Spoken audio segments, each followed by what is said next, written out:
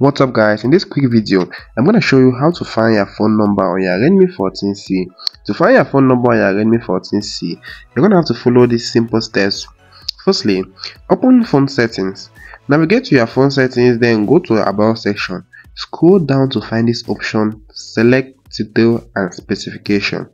Then scroll all the way down to check status. There here you'll find phone number for both SIM slots if no SIM is inserted, it may display as unknown. And that's it.